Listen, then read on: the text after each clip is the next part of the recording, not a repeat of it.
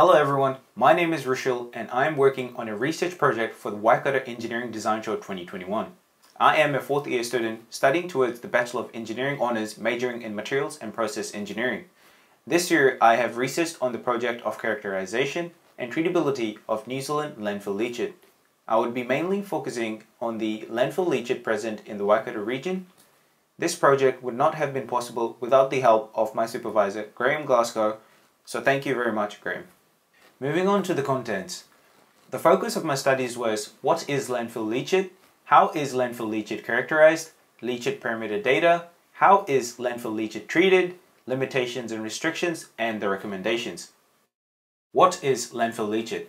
Landfill leachate is a form of waste substance which tends to be toxic in nature and contains various organic and inorganic matters. The leachate forms due to percolation of water through landfill waste and this causes a problematic issue for many countries across the world because of environmental hazards and the impact on the livelihood of people. How is landfill leachate characterized?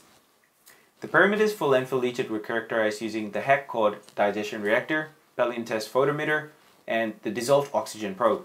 These were used to characterize several parameters.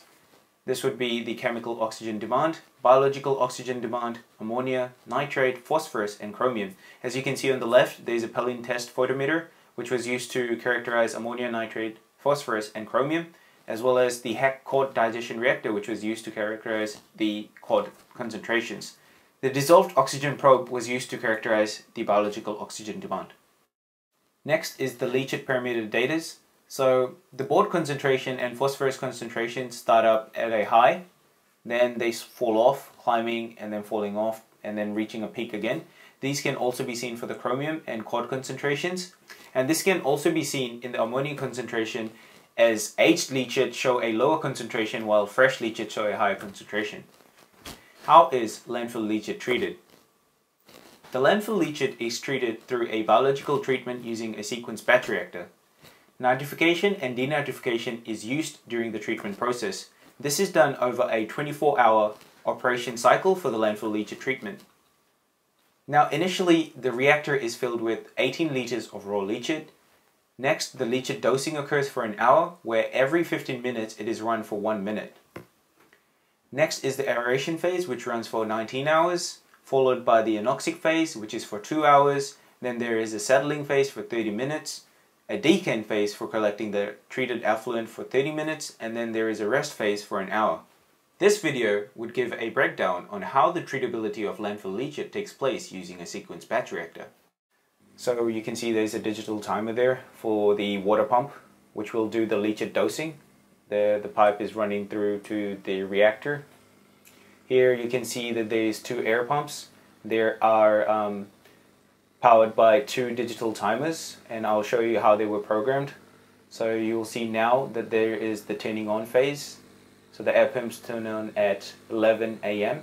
and now the turn off which is at 6 a.m. the following day which is a 19 hours operation cycle. Now the same is being done for the second air pump. Now from the air pump we're going into the reactor where you can see there's aeration taking place. Next there's the mixer for the anoxic phase. This is then programmed.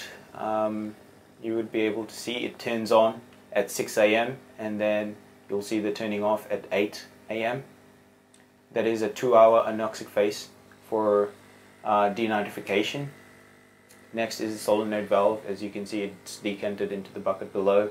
It is programmed to start at 8.30 a.m. and finish at 9 a.m., which is 30 minutes of decant. Now moving on to the limitations and restrictions. Due to the COVID outbreak and lockdown restrictions, I was unable to acquire the leachate samples to conduct my experimentation. As an alternative, I was given data from previous experimentations on the leachate. Also, due to the current circumstances, the aeration efficiency experiment is yet to be conducted.